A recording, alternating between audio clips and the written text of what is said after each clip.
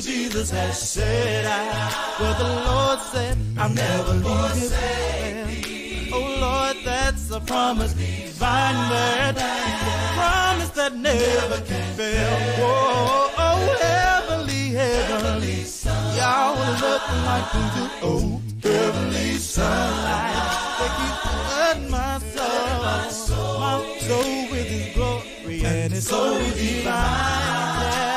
Oh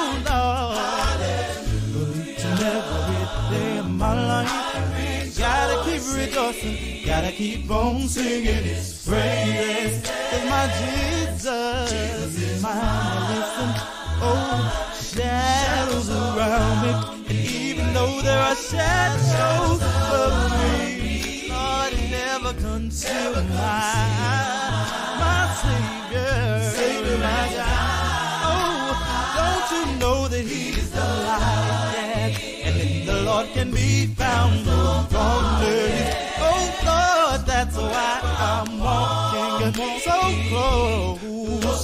side. Oh, oh, oh, heavenly, heavenly. Y'all, there's nothing like this good, oh, heavenly sunlight. That keeps flooding my soul, flooding my soul. With His glory, glory divine, so divine. Oh, Lord, each and every day of my life, gotta keep rejoicing, gotta keep on singing His praises. To my Jesus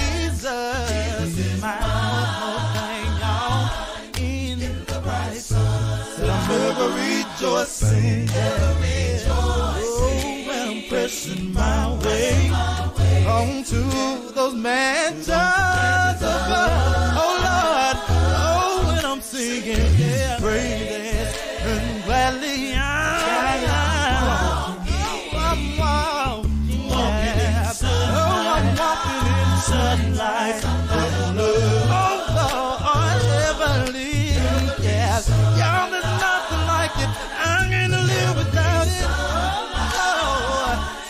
Flooding my soul, yeah, with its glory divine, so divine. Oh, Lord, yeah, I gotta keep on rejoicing, gotta keep singing my, my, my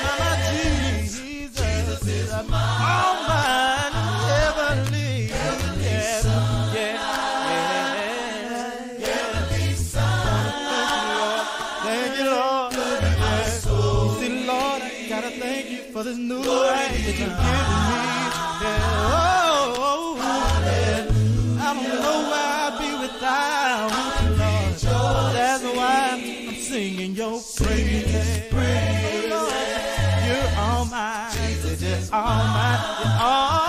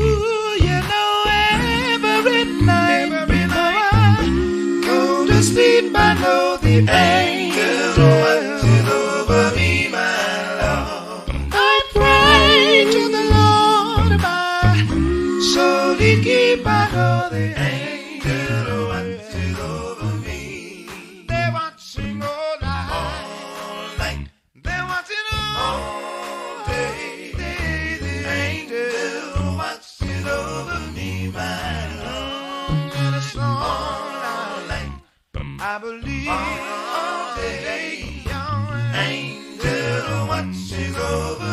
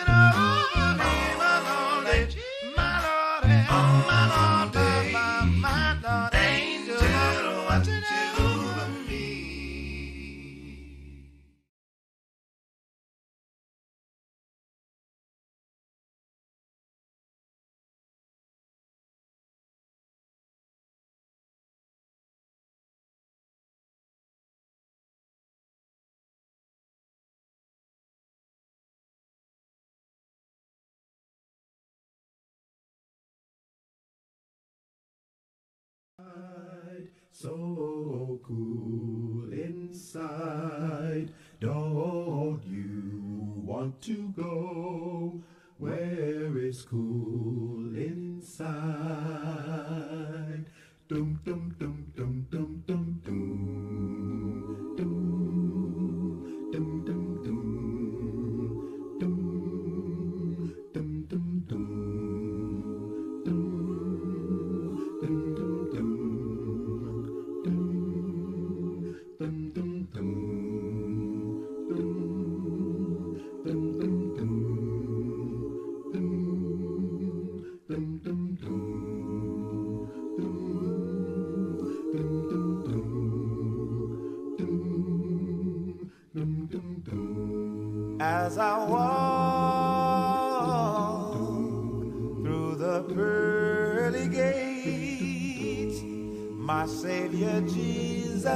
at the gate.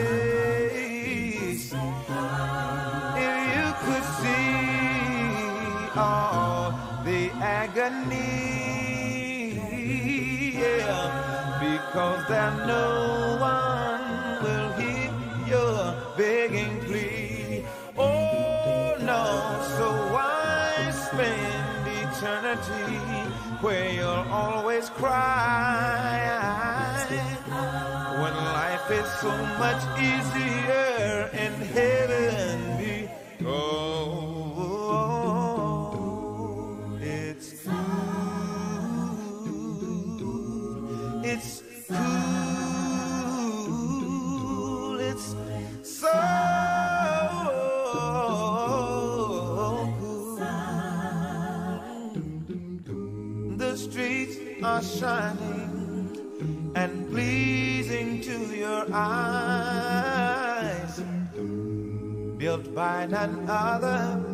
than I got.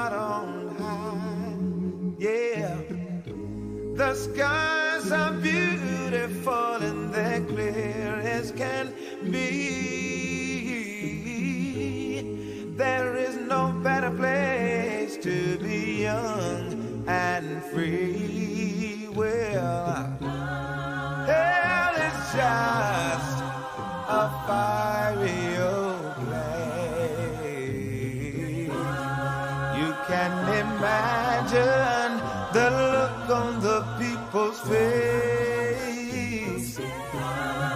If you could see, you could see, you could see all the agony. Because they no.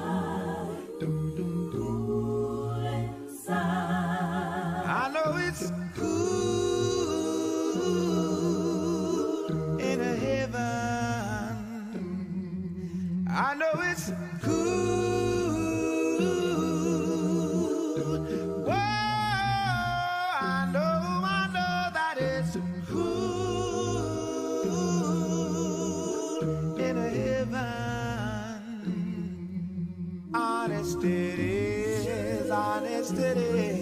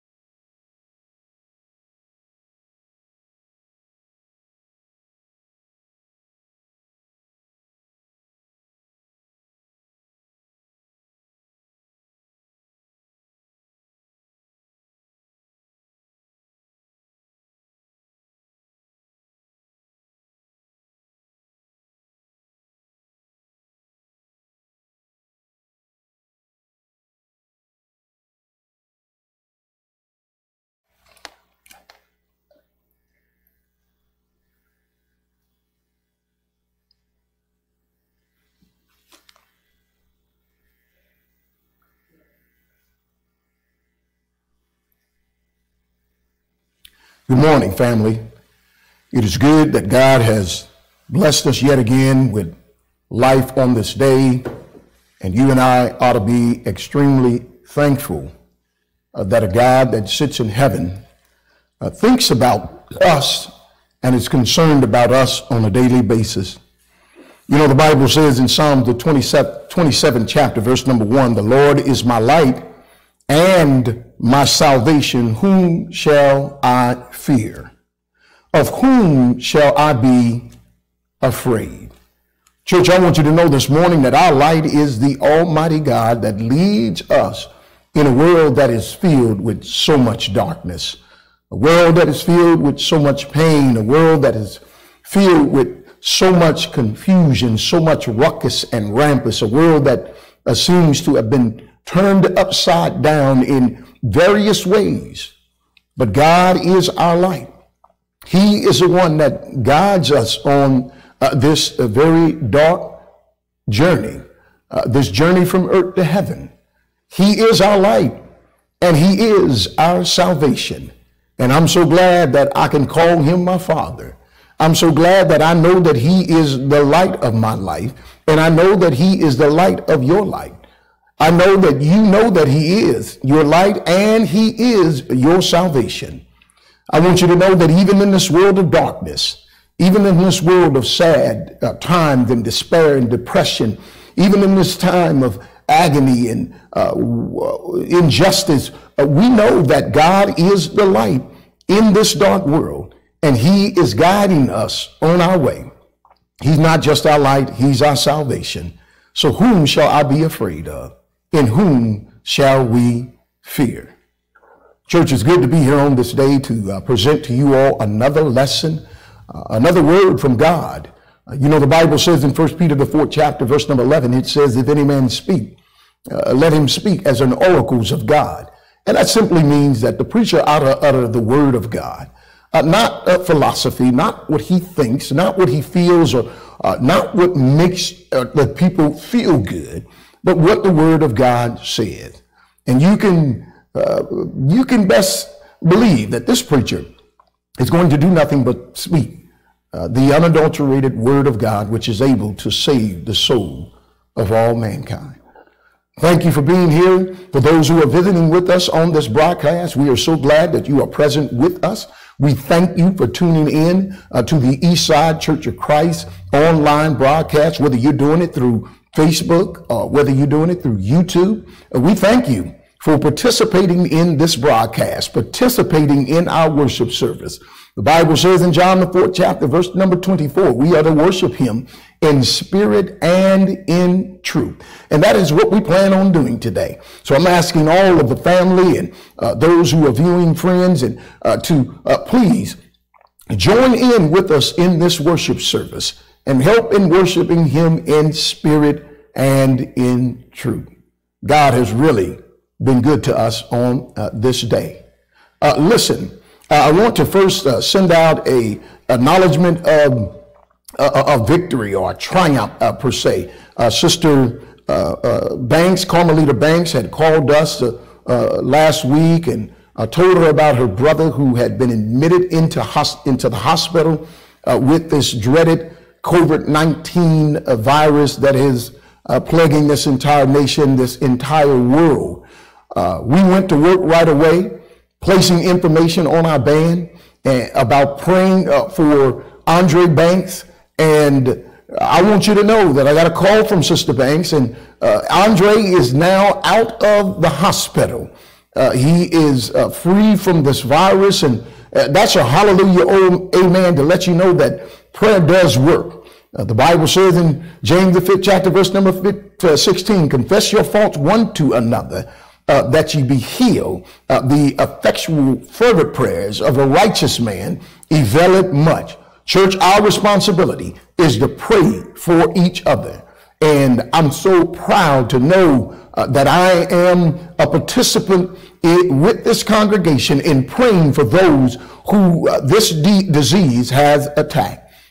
Thank you so much for that. Sister Banks thanks you for that. And we thank the Almighty God for that, for hearing the prayers of, of the righteous. God has truly been good to us. We know we live and we move and we have our very being simply because who he is. Church, if you will, turn your Bibles to Ephesians. Turn your devices or swipe your devices to Ephesians in the New Testament. Ephesians, the uh, second chapter. Ephesians, the second chapter. We will begin reading at verse number 12 and we'll conclude the reading at verse number 19. Here is what the Word of God says. Therefore, or rather remember that you were at times separated from Christ, excluded from the commonwealth of Israel and strangers or aliens to the covenant of promise, having no hope and without God in this world. Verse number 13 says, But now in Christ Jesus, you who formerly were far off have been brought near by the blood of Jesus the Christ. For he himself is our peace who made both groups into one and broken down or broke down the barrier of the dividing wall. Verse number 15 says, by abolishing in his flesh the enmity, which is the law of commandments contained in the audience, so that in himself he might make the two into one new man, thus establishing peace and I and might reconcile them both in one body to God through the cross by it having put to death enmity. Verse 17 and 18 says, And he came and preached peace to you who were afar off, and peace to those who were near. For through him we bought, we bought through him we both have our access in one spirit to the Father. Verse number 19 says, So then you are no longer strangers and aliens, but you are fellow citizens with the saints and are of God's household. The tag for this morning lesson is one household adopted. Church, I want you to know that we are adopted into one household. I want you to understand that uh, we live in a world that has such great confusion. And if you've been in tuned into uh, uh, the, the, news here lately, you have seen the struggles uh, that we as a nation have. Uh, we've seen uh, the disturbing images. we've seen the things that have plagued us uh, for the past three months when it deals with this COVID 19, this coronavirus. Uh, we've seen the imageries on the news of uh, men who have no respect for human life take the life of another human being. Church, I want you to, to, to, to hear something here. Generations after the 1954 Brown school desegregation decision, the Civil Rights Act of 1964 and the Voting Rights Acts of 1965, racial discrimination continues in our country. Everywhere you look, from every state in the union, generations have passed. And in our country, in our nation, racial discrimination still exists. The Oxford uh, Dictionary of Words uh, describe racism or define racism as prejudice, discrimination, or an, antagonize, an antagonizement uh, directed against a someone of a different race. Listen to this, someone of a different race based on the belief that one's own race is superior. Church, I want us to understand that what we're seeing is not anything new. Uh, whether we go back generation after generation, whether we go back century after century, what we're seeing today is nothing new. Matter of fact, in our text, Paul spoke of the fact that the Jews were discriminating against uh, the Gentiles. For some reason, the Jews thought uh, that they were a superior a race. Uh, they were of a superior uh, being. Uh, they thought they were better uh, than the Gentiles. Uh, they thought that they uh, looked better. They walked better. They talked better. their hope was intact. Uh, their peace was intact. Uh, their reconciliation uh, was completed. Their citizenship was stamped and signed. The adoption papers were completed. And therefore they thought that so because they were in the position that they were in, it made them to be a better race. They saw themselves as being superior over any other race of people. He saw the Gentiles as being inferior. Uh, they saw the Gentiles as being less than them. Uh, they saw themselves as being better than them.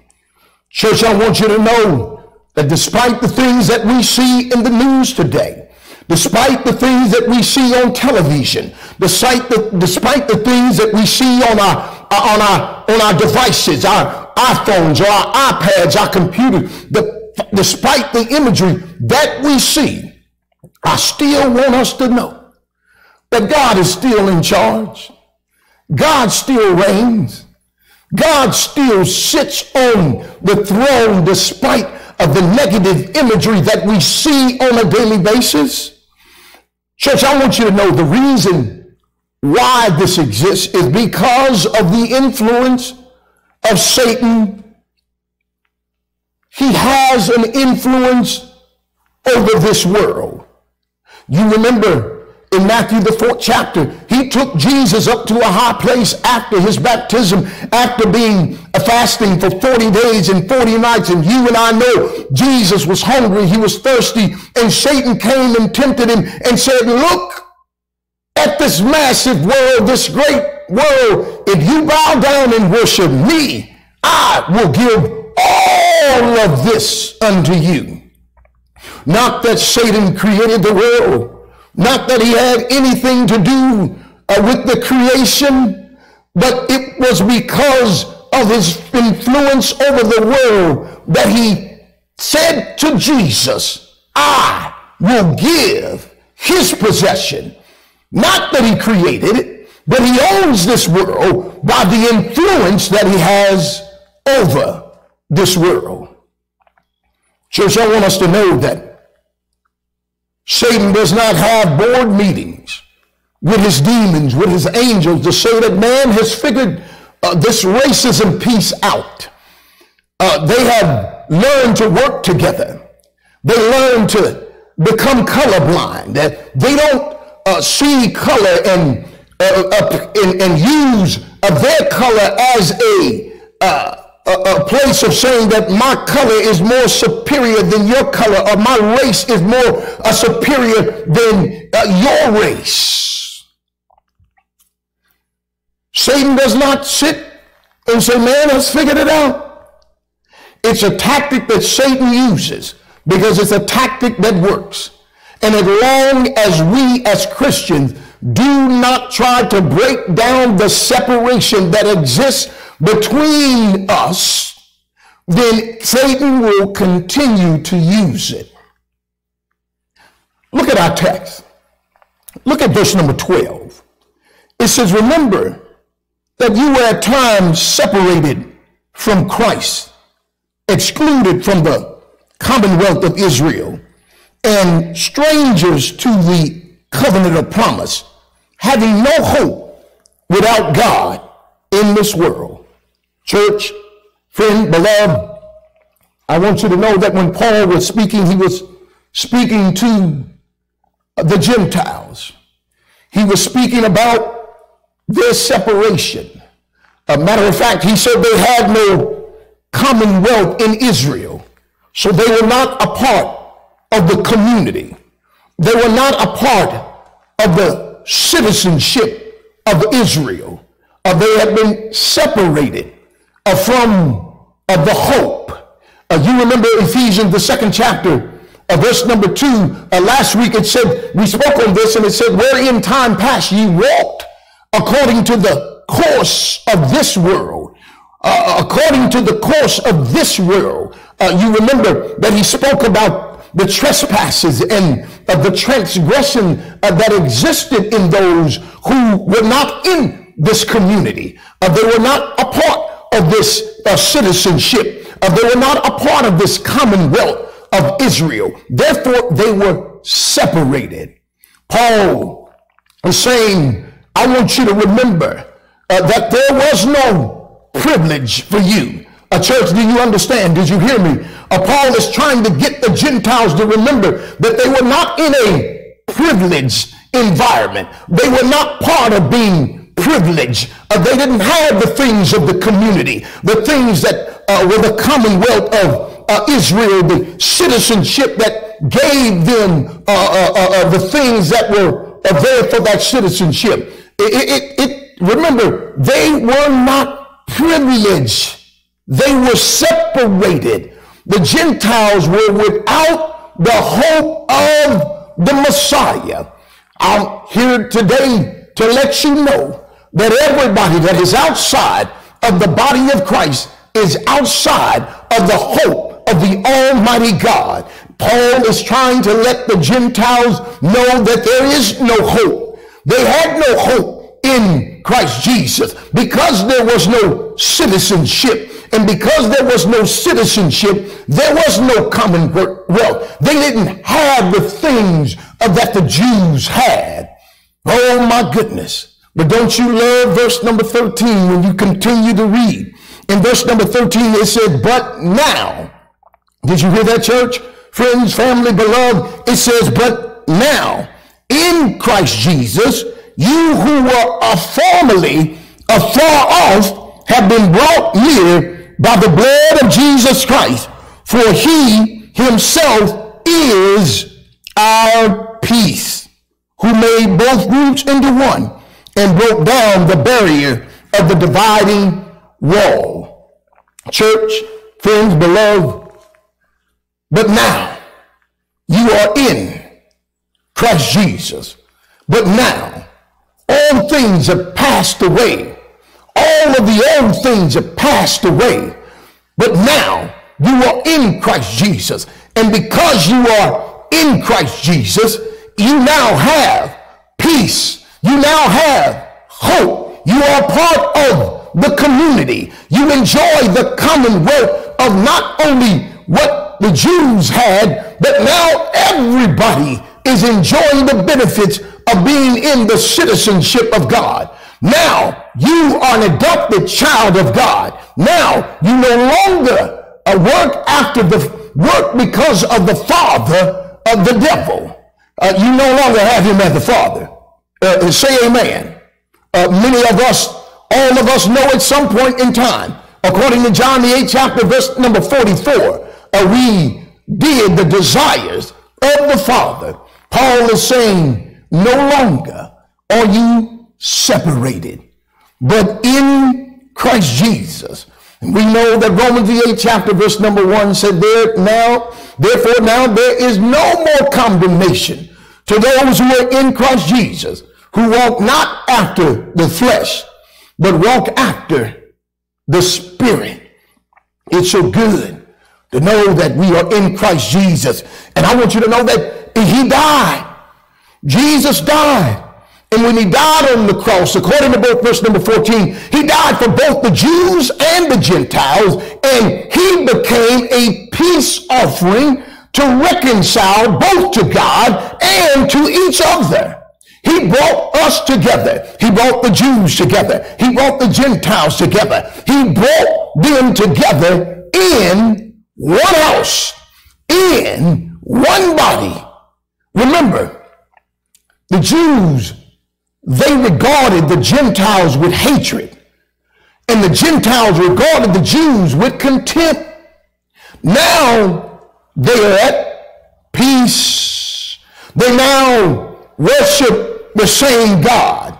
They now have the same Savior. They now depend on uh, the same God. Uh, they depend on the same atonement. They look forward to the same heaven. Uh, they belong to the same household. Did you hear me? They belong to the same household. They are the same adopted brothers and sisters with the same inheritance. Reconciliation has not only taken place with God, but reconciliation has taken place with each other. Church, it would be an amazing thing if in this day and time in 2020 in the United States of America uh, that we can see reconciliation amongst all races of people. We see reconciliation amongst the Jews and the Gentile. It's possible for us to see reconciliation amongst us in God's world, in this society, in this nation, in this state of Missouri, in this metropolitan area of Kansas City, we can see reconciliation. We can be joined together in one household with a common goal. But that only happens when all are in Christ Jesus. Church, look at what verse number 16, 15 says. He says, by abolishing in his flesh the enmity, which is the law of commandments contained in the ordinances, so in himself he might make the two into one new man, thus establishing peace. Church, I want you to know that when you're in Christ Jesus, You are of a new humanity. Turn your Bible to 1 Peter, the second chapter, verse number 9. And if you look at 1 Peter, the second chapter, verse number 9, you will see that we have become a new humanity, a new race of people.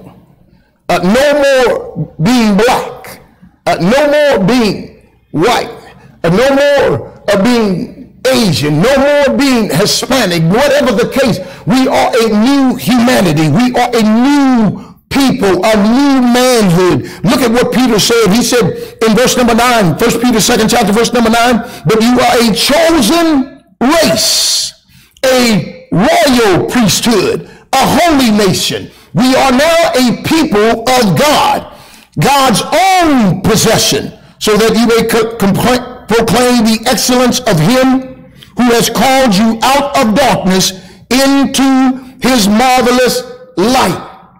Church, we are a new humanity. We are a new race. We are a new people. We are God's possession. We are his peculiar people, which are God's possession. Look at verse number 10. He said, For you were not a people. You were not a people but not you are the people of God. But now you are the people of God. You have, you had not received mercy, but now you have received mercy. Church, I want you to know that at one point in time, you and I were outside of the body of Christ. You and I uh, were like orphans.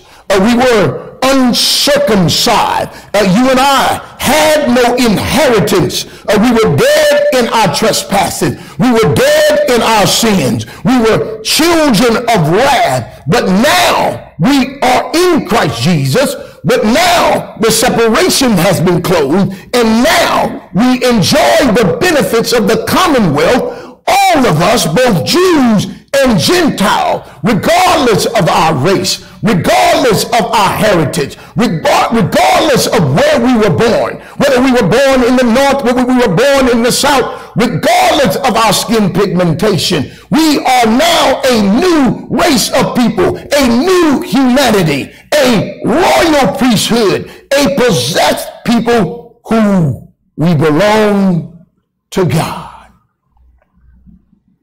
Church, we are all adopted brothers and sisters in Christ Jesus.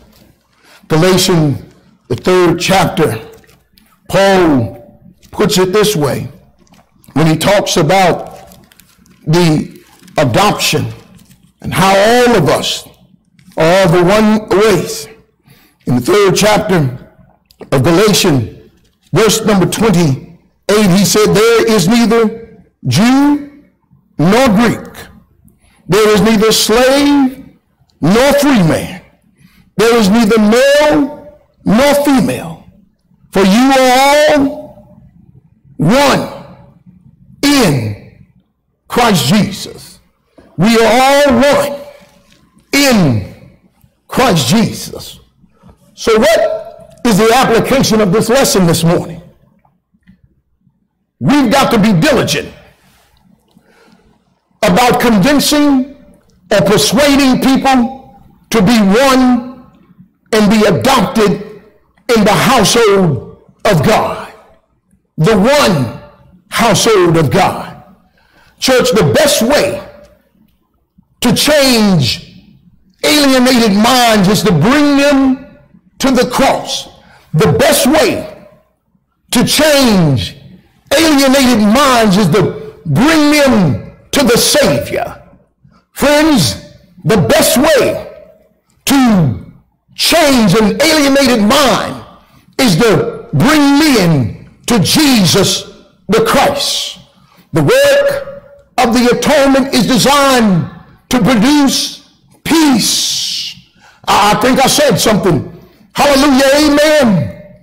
The work of the atonement is designed to produce peace. Listen.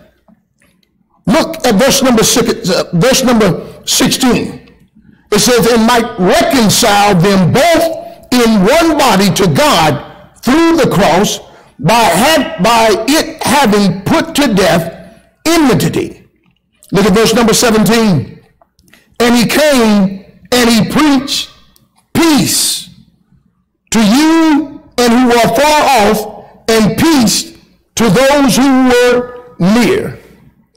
Church, friends, beloved family, when Christ died on the cross, the atoning blood of Christ brought peace into this world. Church, I want you to see that this word peace comes from the Greek word which is irene. Irene uh, E-I-R-E-N-E, irene. This a Greek verb means to bind or to join together what is broken or what is divided. It is creating a new union. It means that there is peace, and the antonym of peace is war. Uh, so when there is peace, there is the absence of war. Uh, listen, I'm trying to get us to understand that in this world, in this society we live in, there can be peace in this world. That peace was brought into the world by the Savior, by the Messiah, by Jesus the Christ. Church, listen. There's some joining together that needs to take place. There is some binding together that needs to take place. There has to be peace, and that peace exists in one household. Look at verse number 19 of our text. He said, then that you are no longer strangers. You are no longer aliens. You are no longer alienated, but you are fellow citizens with the saints and are of God's household. See, in God's household, there is no separation. In God's household, there is no division. In God's household, there is peace. There is irene. There is irene. There is no brokenness. There is no division in God's household. White can be in this house. The white race can be in this house. The black race can be in this house. Asians can be in this house. Hispanic can be in this house. Every nation, every race of nation on this planet can be in this house and there can be no division. There is no separation. There is no war. There is only peace. And this peace is brought into this world when we share the word of God with the lost. We try to change the alienated minds. And we change the alienated mind by bringing them to Christ Jesus, by bringing them to the cross, by bringing them to the atonement blood of Jesus the Christ. Church, I want us to understand today that we live in a world where racism exists.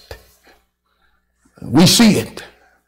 Uh, the disgusting images that we see, and it, it would, it would, uh, it would cause such uh, uh, uh, that has caused such great pain in this world that we see today. But I'm here to tell you that there can be peace. I'm here to tell you that that separation can be closed. I'm here to tell you that if Jews and Gentiles can live together in peace, it can be done in this society as well. But it takes us as Christians to be able to share the word of God and bring people to Christ.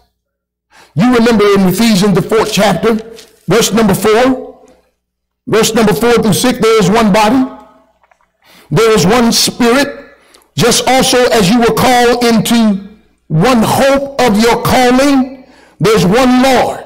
We know there's one Lord. We know there's one faith. We know there's one baptism. We know there's one God and Father of all who is up, who is over all and through all and in all. We know that there is one body. And because there is one body, there is one household and all of us are adopted into this one household. I want you to know that when we're in this one household, there ought to be peace. There ought to be peace in this household. There shouldn't need no division because of our skin pigmentation, because of our uh, uh, uh, uh, uh status in this life, because of the fame that one has, or there shouldn't be any difference or division or separation because of the fortune that another has and, uh, and then one that doesn't. There should be no despair or no separation because of my education, I have a doctrine, and you didn't graduate from high school beyond uh, the 10th grade. Uh, there should not be any division. No separation. I'm talking about the one house that you and I have been adopted into. And I'm talking about bringing those who are lost in this world into this house. Generations after the 1954 Brown School desegregation decision, after the Civil Rights Act of 1964, the Voting Right Act of 1965, racial discrimination continues in our country because we are separated from God because we are not in the one household, because many are under the leadership of the influencer of this world, Satan.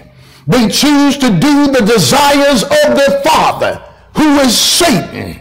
But I want you to know this morning that you and I have hope. We have the expectations of peace and the peace offering that has been given to us is when Jesus died on the cross to bring us all into the one body, all into the one household, all into the one church that makes us as a new humanity, a new race of people, a possess, possession of the Almighty God.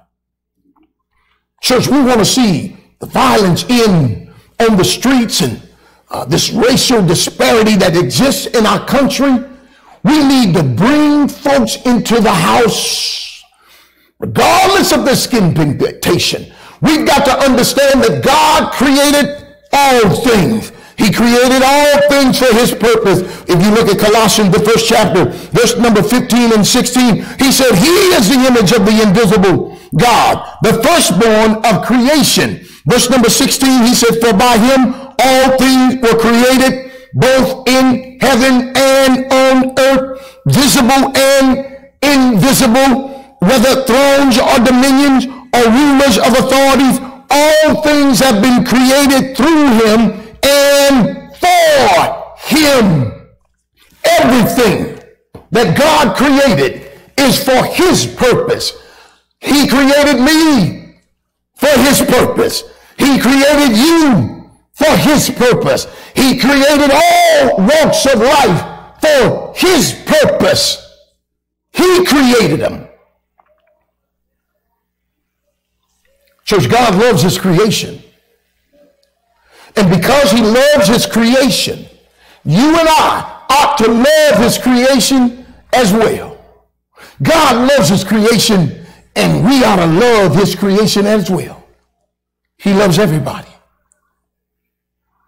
We are one new humanity who've been adopted into the one house of God. We want to cure this problem in this world, in this nation with racism, we need to be persuasive. We need to be convincing. We need to close the separation. We need to have everybody enjoy the commonwealth and be in the community and be a part of the citizenship of heaven. How do we do that? We just open our mouths and we talk to people. How do we do that? We be an example of who Jesus Christ was. How do we do that? We tell them about the death, the burial, and resurrection of Jesus the Christ. How do we do that? We tell them about uh, his reconciliation. We tell them about his atoning blood. We tell them about the citizenship of heaven. How do we do that? We baptize them in the name of Jesus Christ and the Holy Spirit. How do we do that? We continue to teach them about God, His commandment. How do we do it? We just keep on keeping on. How do we do it? We keep on loving each other. How do we do it? We keep loving those in the church. How do we do it? We keep loving those outside of the church. We love God's creation. We love His creation because He loves it. And because He loves it, you and I ought to love it too. Adopted in the one house. Church, we need to be vigilant, uh, about taking the word uh, to uh, those in, that are lost in this world. Diligent in speaking about his death, his burial, and his resurrection. Diligent about bringing souls to Christ. And when we do that, we'll see a nation begin to come. We'll see a nation that's at war.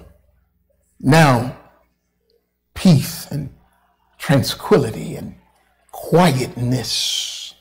No ruckus, no rampus, no division. They're joined together. No discord, no fighting, but a family in one household who are here to bring others into that household. That's how we cure racism. Not through protests, most definitely not through riots, not through uh, reform, whether it be government reform or uh, school reform, whatever the case, not by replacing the Republican president with a Democratic president, not by switching the number of houses or seats that are held in the Senate, whether on the blue side or the red side, not by who you vote into Congress, not by uh, uh what we do at City Hall. It's by bringing and winning souls to Christ. It's time for us to go to work, God, church. Friends, beloved, it's time for us to be diligent in our efforts in bringing souls to Christ. It's time for us to be able to close that separation, the separation that existed over 2,000 years ago between Jews and Gentiles. One of the most perfect examples of racism that ever existed in the Bible. We can close that separation by winning souls to Christ. You've heard the word of God on today. I hope and I trust and I pray that there's been something that has been said today that will help you along your journey from earth to heaven. Something that has been said today that will help you be able to persuade or to convince others to join this household, to be added to this household by being baptized. Church, I want you to send in your responses, your prayer requests now. A slide should be present here in just a second that will tell you the number that you can call. Uh, that number is 816 525 3626. Any prayer request that you have, uh, please send those prayer requests in to us. Uh, prayer requests. I, I, know we have the offering slide up, but we're going to change that. But we're going to get to the prayer request slide so you can uh, see the a number there again. The number is 816 525 3626. And as your prayer requests are coming in, uh, please send your prayer request in. I, I, want us to know that if there's someone that wants to be baptized today, uh, somebody who is outside of the body of Christ, someone who uh, needs that separation closed, someone who uh, needs to have hope, uh, someone who needs that peace in their lives, or someone who is looking to be adopted and enjoy the inheritance that is coming, someone who wants to know that there is hope, someone who now knows that there's confidence, there's faith, and there is nothing to anticipate but hope and trust and faith in the Almighty God. Somebody out there who uh, wants to uh, have peace in their life. Someone who wants to uh, know that there is a new union. Uh, they know that they want to be a part of a new humanity. They want to be a part of that royal nation, that priesthood. They want to be that possession of God. Here's how you do that. First thing you have to do is you have to believe. You have to believe that Jesus Christ died on the cross for our sin. Paul said it best in, Rome, in 1 Corinthians, the 15th chapter, verse number 1 through 4, where he talked about believing in the death, the burial, and the resurrection of Jesus the Christ. One has to hear the word of God. The Bible says in Romans, the 10th chapter, verse number 17, faith cometh by hearing, and hearing by the word of God. One has to confess the sweetest name that ever rolled off mortal tongue. That is, that they believe that Jesus Christ is the Son of God. One of the best examples of that in the scriptures in Acts the 8th chapter, verse number 26 through 40, where uh, uh, the Philip met an Ethiopian eunuch, taught him the gospel, and he said, Do you believe that Jesus Christ is the Son of God? The Ethiopian eunuch said, Yes, I do, and said, here is water. What do hinder me from being baptized? One must be baptized as well in order to be in the family of God, in order to be in the household of God, in order to, for those adoption papers to be secured with the proper signatures from the Holy Spirit, the proper stamp from the blood of Jesus the Christ, and the authorization by the Almighty God. The Holy Spirit has stamped the adoption papers and have made us a part of the family of God, a part of the household of God, a part of the commonwealth of God, a part of the community of God. We are now a part of the citizenship in heaven. And then one must live faithfully until they leave this time side of life, according to Revelation, the second chapter, verse number 10. There's someone that wants to be baptized. We're ready to baptize you right now. Uh, the water is ready, all of the clothing that is ready. We want you to come. Please send your prayer request in. Uh, we got a prayer request uh, from, um, here we go. We got a prayer request from,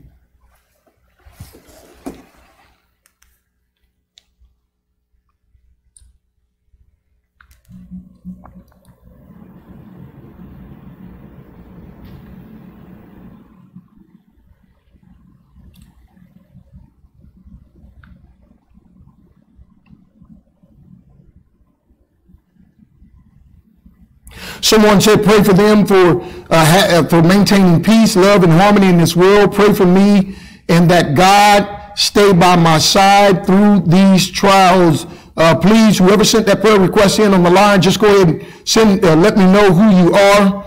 Uh, that's Sister Natalie. Sister Natalie sent that prayer request. Thank you, Sister Natalie. Uh, Sister Gina uh, Burgeon said, pray for me and Andre Banks and the Banks family. And uh, Jametta, pray for her. Uh, Sister Stephanie Johnson says, pray for Alicia. Please pray for her safety. Uh, she's on her way back to college or going back to college. Pray for Tim Johnson Jr. His 18th birthday is June the 3rd. We'll be praying for him. What are your prayer requests and your prayer request in?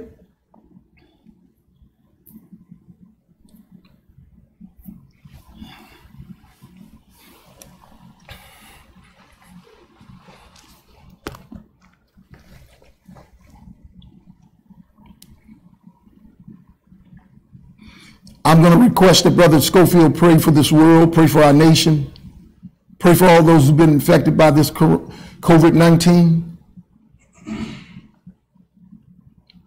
Pray for our nation and this disparity from racial inequality, the, uh, the things that we have seen over the past few months in the news, and pray that this world, that this nation will have some reconciliation that there will be real peace, that we will really join together for a united effort of winning souls to Christ, regardless of our skin pigmentation, regardless of our education, regardless of our financial status, regardless of the fame and fortune that we have. Are there any other prayer requests? Are there any other prayer requests? What are your prayer requests?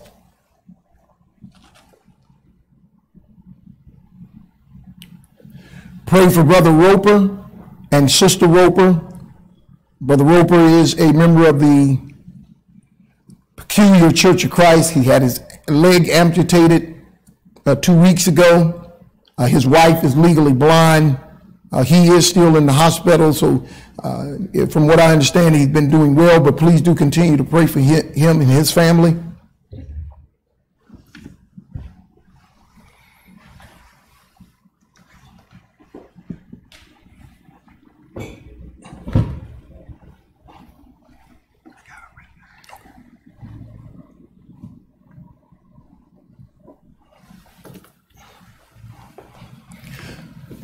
Please send your prayer requests. If there are no other prayer requests, Brother Schofield is going to uh, lead us in prayer.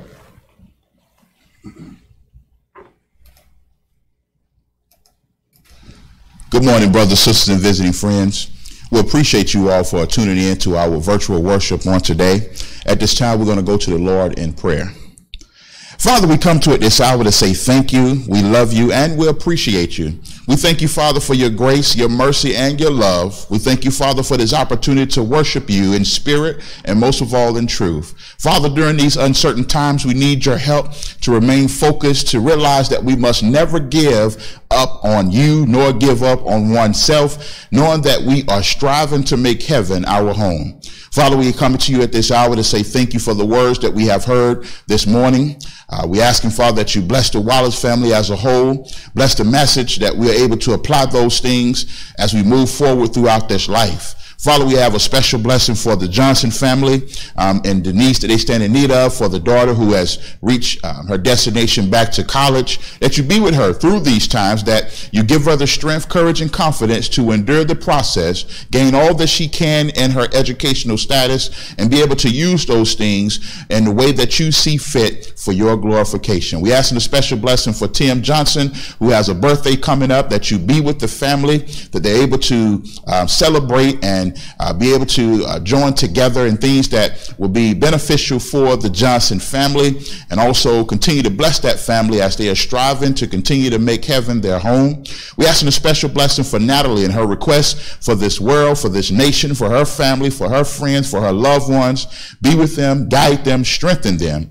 We ask a special blessing for the Roper family, the wife who is ill, um, the husband who is still hospitalized, that you be with them in all shapes, all forms, and all fashions we ask a special blessing for this nation as a whole because we need your help as your children to go out into this world and proclaim your good news and to live the appropriate lifestyle that the examples that we set through our lifestyle will draw men and women, boy and girl, unto you. And Father, we're praying for the leadership of this world that they are making the proper decisions that is best fit for the nation. We ask a special blessing, Father, for the church across this world that we are continuing to remain firm and strong strong no matter what we have to face and identifying the things that you give us as tools and resources to continue to spread your word, to glorify thy name, and to realize that you have called us out of the darkness to live in the marvelous light and to have life more abundantly. Father, we ask in a special blessing for the Eastside Church of Christ here in Lee's Summit, Missouri, that you be with us, be with our leadership here, be with our mindsets, be with the membership. And we ask, in Father, as we are preparing for expansion, that you give us the tools and resources to prepare well and to embrace the opportunity as it arrives. Father, thank you for this worship hour, and we asking that all these things um, be answered and done in Jesus' name. Amen.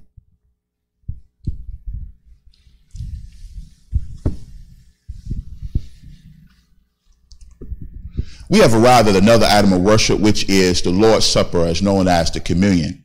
The Bible tells us in the book of Acts, chapter number 20, verse number 7 For upon the first day of the week, when disciples came together to break bread, Paul preached unto them, ready to depart on the morrow, and continue his speech until midnight. The Bible also explains to us in 1 Corinthians chapter number 11, verse 23 through 26, what these two items represent. We have the bread that represents Jesus' body. We have the cup that represents the fruit of the vine, the blood that was shed for the remission of sins. In verse number 26 of that same chapter, it says, As often as we eat of this bread and we drink of this cup, we do show the Lord's death until he come. At this time, let us pray over these two items of worship. Father, we come to you at this hour to say thank you for dying for the sins and for this nation as a whole. We ask asking, Father, that you be with us as we commune at this hour, taking up the bread that represents your body that was broken and the fruit of the vine that was shed as blood for the remission of sins. Father, we love you and we appreciate you. It's in Jesus' name we ask and offer this prayer through faith. Amen.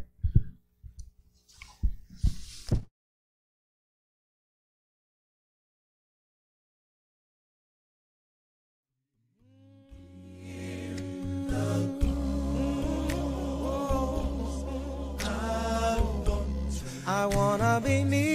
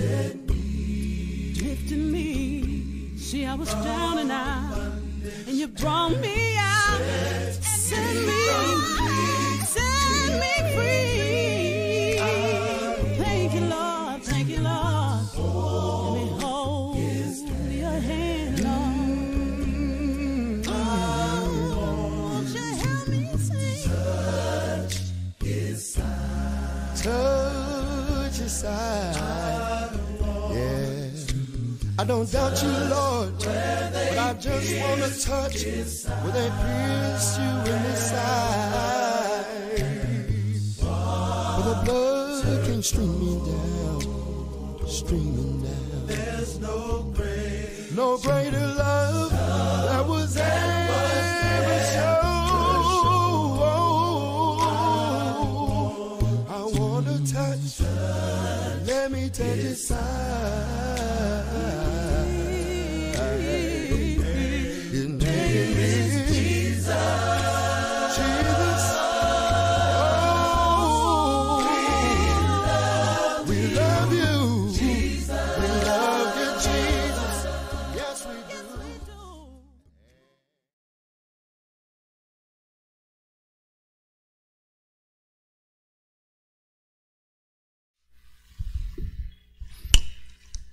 Brothers and sisters, visiting friends, we arrive at another item of worship, which is giving back what God has blessed us to give. We trust and pray that you all have able to uh, take up the Lord's Supper.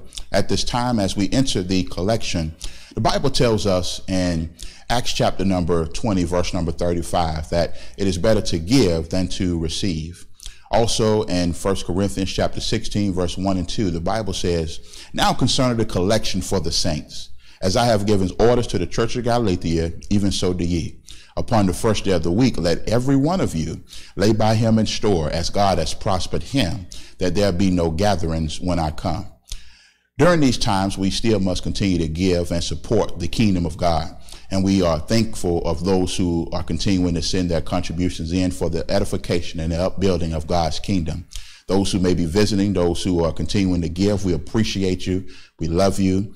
Um, not because you give, but you are allowing God to use you in the fashion that He see fit. And we thank you. Um, at this time, let us go to the Lord in prayer. Father, we come to this hour to say thank you. We love you. We'll appreciate you. Thank you for this opportunity to give back what you have blessed us to give. We ask, Father, that we give in a loving and cheerful manner.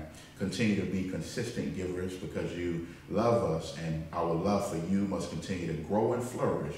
And in those things, we know that um, these funds will be used for the upkeep and the spreading of your word and the edification of your body.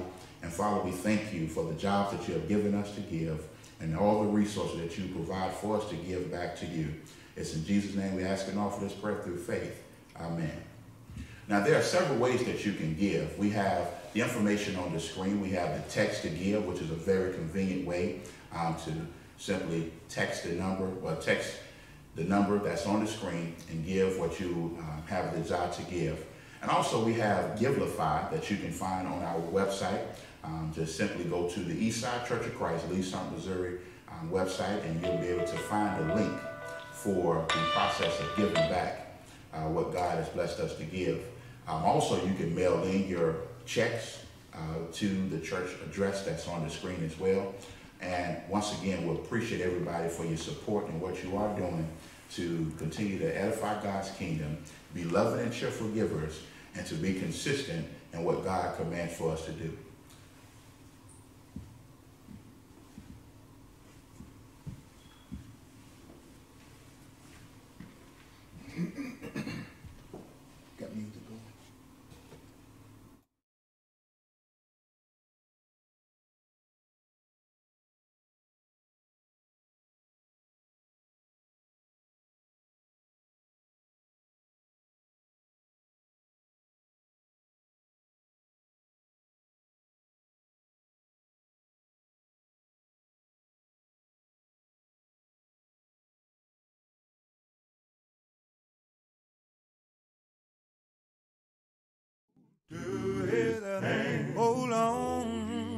On to God's unchanging hand. Everybody ought to hold on to his hand. Hold on to God's unchanging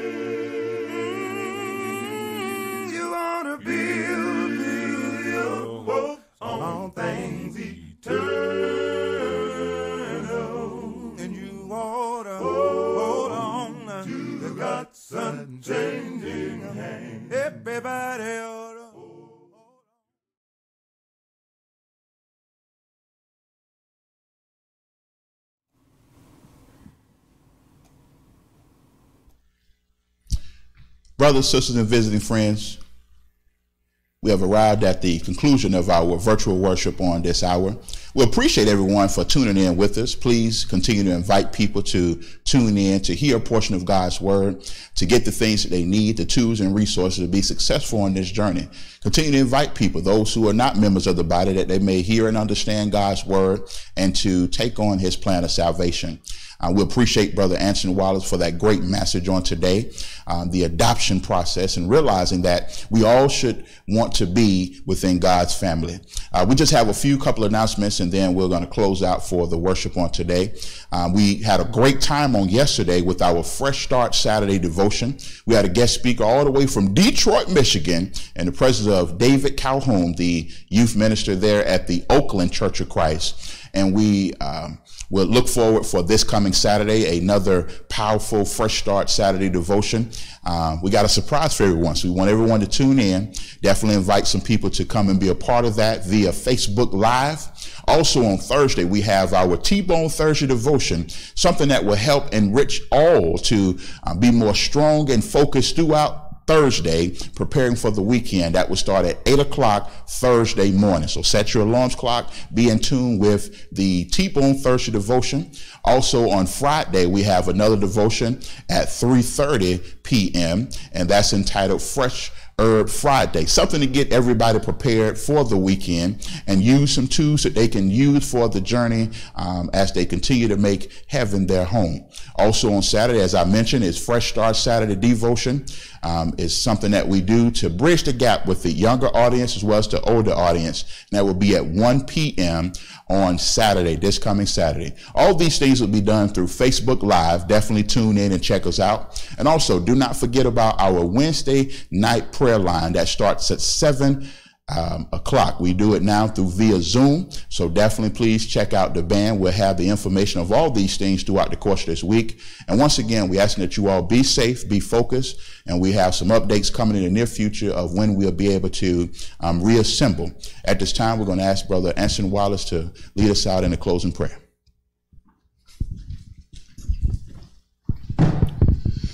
Again, we thank you so much for participating in this uh, broadcast, this worship service. And as Brother Schofield said, I want to put some emphasis on that uh, to the friends, the family, uh, those that are not members of the Church of Christ. We thank you so much for joining us. And uh, we ask that you participate uh, with us again. And if you are wanting to uh, be in our Wednesday night devotion service as well as prayer service, just let us know. Send us a message at 816 525 uh, 3626, and we will send you the information to join us uh, via Zoom on that uh, devotion and prayer service. We're in times where uh, we need to be praying, and we need to pray uh, individually and collectively as a church. We need to open up uh, the ears of God so that He will be able to hear our prayers and answer our prayers.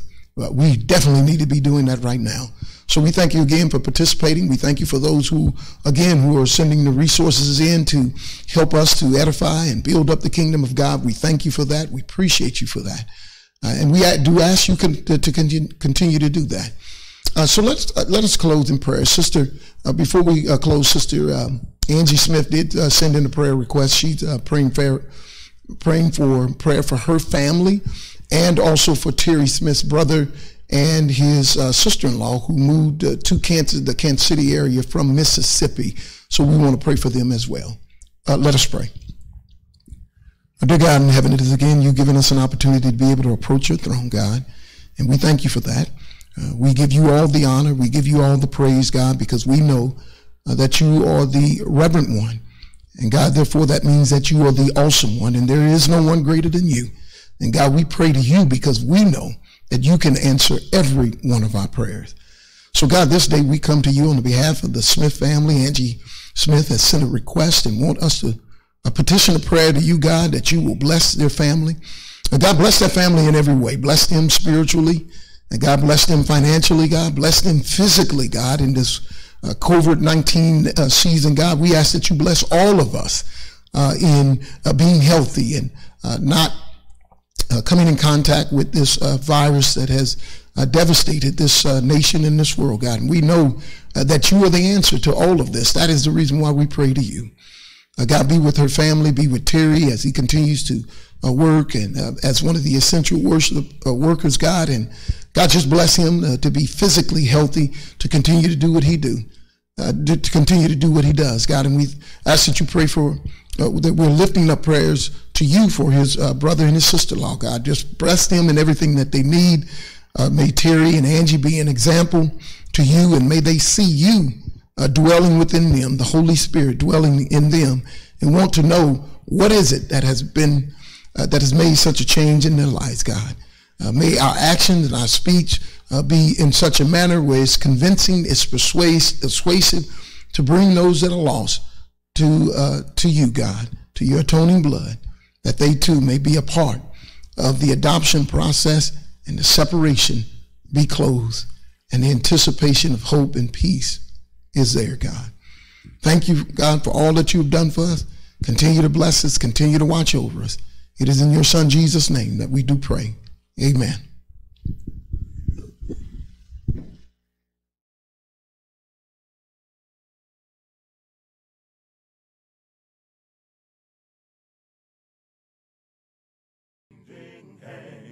Everybody ought to hold on.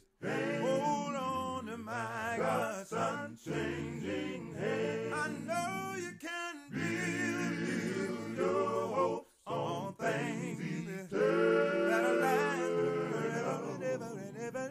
hold on to God, sun changing hand, His unchanging. Ever in trouble, you ought to know you can trust, trust in Him. Oh, He won't leave you.